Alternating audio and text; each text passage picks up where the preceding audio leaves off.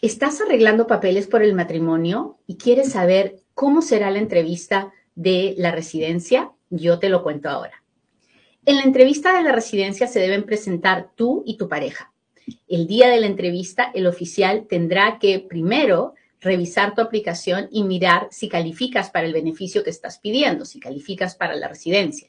¿Cómo lo hará? Pues chequeará tu historia de vida, chequeará tu récord criminal, chequeará que no hayas cometido ninguna violación a la ley de inmigración que te haga deportable, se asegurará de que nunca hayas dicho que eres ciudadano americano cuando no lo es, o hayas cometido un delito grave o un delito que te haga deportable, se asegurará de que no le hayas mentido antes a la inmigración o a un oficial del gobierno. Si todo eso está bien, entonces la segunda parte de la entrevista será asegurarse de que te casaste por amor y no por papeles, que la situación migratoria es secundaria y que lo más importante es que tu matrimonio es un matrimonio real.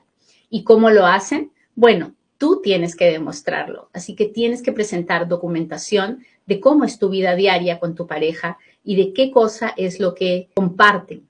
Y uno generalmente en un matrimonio comparte las cosas buenas y las cosas malas. Así que ahí es cuando la pareja tiene que mostrar documentación de qué es lo que comparten.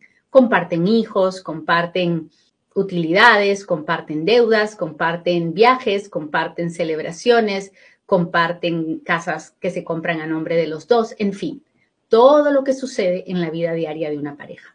Así que si estás haciendo ese trámite y tu matrimonio es por amor, no tengas miedo.